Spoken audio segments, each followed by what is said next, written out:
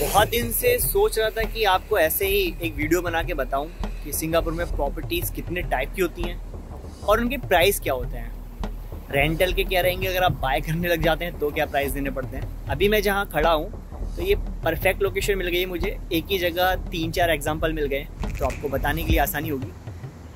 तो सबसे पहले ये वाली प्रॉपर्टी जो आप देख रहे हैं, इसको कहते हैं एच और इसके जस्ट बराबर में है ये होती है लैंडेड प्रॉपर्टी और ये होती है बस. और इसके अलावा ये, इसको कहते हैं कॉन्डोमिनियम ये नई नवेली दुल्हन की तरह बिल्डिंग्स जो है, इनको कॉन्डोमिनियम बोलते हैं.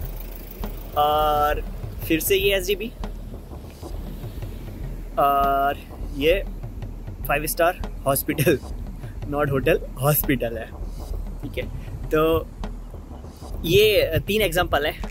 चार एग्ज़ाम्पल है। एक और होता है शॉप हाउसेस वो मैं आपको अभी आगे बताता हूँ। तो यहाँ पे तीन चार तरीके की प्रॉपर्टीज़ होती है सेमी गवर्नमेंट और प्राइवेट ऑल्सो तो अभी कहीं बैठ करके मैं आपको इनके प्राइस बताता हूँ और रेंटल कितना रहता है वो बताता हूँ। और बाकी चीज़ें डिस्क्राइब करता हूँ। सो वेलकम बैक अभी जो आपने एग्ज़ाम्पल देखी, उनमें से सबसे पहले हम बात करते हैं एच की एच क्या होते हैं?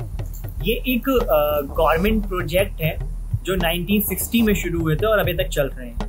इसमें मिडिल क्लास फैमिली को मद्देनजर रखते हुए ऐसे हाउस बनाना थी जो एक एवरेज फैमिली अफोर्ड कर सके। और उसकी एलिजिबिलिटी क्रिटेरिया ये है कि एक फैमिली की हाउस होल्ड इनकम आज के टाइम में 5000 से लेकर के 9000 के बीच में स्टैंड करनी चाहिए अगर हम रेट की बात करें कि आपको अगर एक two B H K S D B flat लेना है तो उसका कितना लगेगा?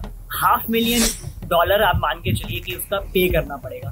बट वो भी ना इमीडिएटली पे नहीं करने हैं आपको कि आपके पास हाफ़ मिलियन डॉलर हो तो आप बाय कर सकते हैं, ऐसा नहीं है। उसका ट्वेंटी परसेंट आपको डिपॉजिट करना पड़ता है। उसके बाद उस पे लोन हो जाता है, फिर आप ई पे कर सकते हैं। बट आप एलिजिबल होना चाहिए उसके लिए। और अच्छी बात यह है कि गवर्नमेंट इसके लिए सब्सिडी भी आपको प्रोवाइड करवाती है। और अगर हम रेंट की बात करें तो एक टू बी एच के या three B H K flat अभी के जो रेट चल रहे हैं, एक एवरेज 2500 से लेकर के 3500 के बीच में आपको according to locations according to area मिल जाएगा। जो कि बहुत ज़्यादा होता है एक टू बी के फ्लैट को रेंट करना। और फिर इलेक्ट्रिसिटी और वाटर बिल एक्स्ट्रा है उसका अलग से देना पड़ता है। पर अच्छी बात यह है कि जितने भी एच है उनको इस तरीके से प्री प्लान किया गया है कि गवर्नमेंट बहुत ख्याल रखा है आ, लोगों का अपने लोगों का कि आप कहीं पे भी रहो। तो उसमें आ, पार्क बनाए हैं बेहतरीन और आउटडोर जिम बनाए हैं और बच्चों के लिए बेहतरीन प्ले ग्राउंड बनाए हैं। और अच्छी बात यह है कि यहाँ पे आ, फिर जितने भी ब्लॉक्स होते हैं वो उनके बीच में एक सेंटर में एक कंपलसरी है कि फ़ूड फ़ूड होगा और मार्केट होगी कि बंदे को कहीं दूर जाना ही ना पड़े। और ये बहुत अच्छी चीज़ है कि आप घर से निकलो और कुछ भी सामान आपको लेना है, चाहे वो आपका एसेंशियल प्रोडक्ट्स हो या फिर आपके हाउस होल्ड प्रोडक्ट हो वेजिटेबल्स फ्रूट जो भी हो, वो आपको एक ही जगह मुहैया हो जाते हैं। पर ऐसे ही हर जगह आपको मार्केट भी मिल जाती है। ये बहुत अच्छी चीज़ है। और दूसरी साइड अगर हम बात करें कॉन्डोमिनियम्स की तो ये आप समझ सकते हैं कि एस के अपग्रेड वर्जन होते हैं।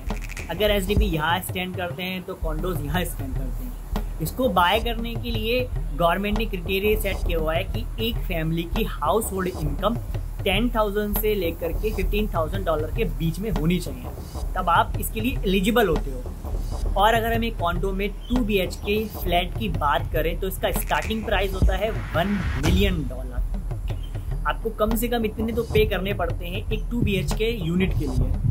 इसके अलावा फिर इसके प्राइस भी बढ़ते रहते हैं according to the buildings and locations और ये जाते हैं फोर मिलियन फाइव मिलियन और maximum eight nine million dollar तक। और अगर रेंट की बात करें कि आपको एक unit two B H K condo में रेंट एक्वायर करना है तो उसका रेंटिंग भी बहुत ज़्यादा है। फोर थाउज़ेंड से स्टार्टिंग होती है, फिर वो सेवन थाउज़ेंड तक एट थाउज़ेंड तक मंथली आपको देना पड़ता है कॉन्डोज के लिए। तो भाई, अगर मान लीजिए आप फोर थाउज़ेंड एक 2 बी के यूनिट के लिए दे रहे हो रेंटिंग फोर थाउज़ेंड तब ये इंडियन रुपीस में बन जाते हैं तकरीबन ढाई लाख रुपए। ढाई लाख रुपए में आप इंडिया के अंदर पूरा एक बंगलो रेंट कर सकते हो। इसीलिए दुनिया की सबसे महँगी कंट्री है, रहने के हिसाब से भी। और अगर हम बात करें यहाँ पे लैंडेड प्रॉपर्टी की तो ये सबसे ज़्यादा महँगी प्रॉपर्टीज़ है। ये कम्प्लीटली प्राइवेट प्रॉपर्टीज़ होती हैं। आप एक बार बाय कर लो तो आप ही की हैं। और यहाँ पे अगर लैंडेड प्रॉपर्टी की स्टार्टिंग प्राइस मान के चले तो टेन मिलियन डॉलर होती है। टेन मिलियन डॉलर से यहाँ पे स्टार्ट होता है, फिर twenty million fifty million hundred million तक की प्रॉपर्टीज़ यहाँ पे हैं। और इन प्रॉपर्टीज़ की सबसे अच्छी बात ये होती है कि ये बहुत ज़्यादा खूबसूरत लगते हैं मुझे इस तरीके के घर। इस तरीके के घर को हम कोठी भी बोलते हैं अपने यहाँ पे, और बंगला भी बोलते हैं, और विला भी बोलते हैं। तो इस तरीके की जो प्रॉपर्टीज़ हैं यहाँ पे यहाँ पे मकान होते हैं, वो बहुत ज़्यादा अच्छे लगते हैं। और सोचो आप क्या कहते हैं, आप ट्वेंटी मिलियन डॉलर स्पेंड करते हो एक इस तरीके का घर बनाने के लिए। ट्वेंटी मिलियन डॉलर में आप पूरा एक खेत लेकर के उसके अंदर बहुत बड़ी कोठी बना सकते हो। और सबसे बुरी बात यहाँ पे ये है कि आप एक यूनिट लो या फिर पूरा एक बंगला लो उसका एक क्रिटेरिया सेट है सपोज़ करें कि आप टू बी के फ्लैट यहाँ पे लेते हैं, चाहे वो कॉन्डो में हो या एसडीबी में हो तो टू बी के फ्लैट में चार पर्सन से ज़्यादा अलाउ नहीं है। मतलब एक फैमिली से ज़्यादा अलाउ यहाँ पे नहीं है। ठीक है? पता नहीं ऐसा क्यों है, पर ये यहाँ का रूल है कि आपको फोर पर्सन अलाउ है टू बी के फ्लैट में और three three B K flat में सिक्स पर्सन अलाउ है। और उसके बाद अगर ज़्यादा फैमिली बड़ी होती है तो फिर भाई जाओ अपना देखो। ऐसा वाला सीन है यहाँ पे। अपनी तरह नहीं है कि एक कमरे में पूरा कुनबा रहता है। ऐसा सीन नहीं है। यहाँ पे बिल्कुल भी सेपरेट सेपरेट रहो, शादी करो, निकलो। पता नहीं ऐसा क्यों है बट ये रूल इधर है। और अगर हम बात करें यहाँ पे शॉप हाउसेस की तो शॉप हाउसेस क्या होता है? नीचे शॉप्स होते हैं और ऊपर उनके घर बने होते हैं। मैंने मोस्टली टाइम ये देखा है कि ये शॉप हाउसेस जो होते हैं ये सस्ते होते हैं यहाँ पे। सबसे ज़्यादा सस्ते अगर रेंटिंग के हिसाब से भी देखा जाए तो शॉप हाउसेज ही हैं। और बाय करने के हिसाब से तो शॉप की कीमत बहुत ज़्यादा होगी। तो बाय करने का तो कोई पर्पज़ बनता भी नहीं है। बट हाँ रेंटिंग के हिसाब से शॉप हाउसेज बहुत सस्ते होते हैं। और मोस्ट ऑफ़ द टाइम यहाँ पे जो शॉप हाउसेज है ना, वो फॉरनर्स एम्प्लॉयज़ के लिए अलाउ कर देते हैं कि अगर मानो नीचे कोई शॉप है, किसी का कोई बिज़नेस है, उसके ऊपर शॉप हाउस है तो उसी को, उसके जो एम्प्लॉय है, उनको वहाँ ठहरा दिया जाता है। और अगर ऐसा नहीं है आप रेंट भी ले रेंट पे भी ले सकते हो, अगर आप शॉप हाउसेस लेना चाहते हो तो उसका रेंट बहुत कम होता है। मतलब पच्चीस सौ, तीन हज़ार तो नहीं होता, उससे कम ही होता, पंद्रह सौ, दो हज़ार के आसपास डॉलर के आसपास आप में शॉप हाउसेस मिल जाते हैं। यहाँ आने से पहले थोड़ा सा रिसर्च करना ज़्यादा बेहतर रहेगा, और ये वीडियो अगर आपके काम की है, या फिर जो आना चाहते हैं, उनके काम की है तो उसके साथ शेयर कर दीजिए, और पसंद आया है कंटेंट तो लाइक कर दीजिए। मैं मिलता हूँ आपसे नेक्स्ट वीडियो में, तब तक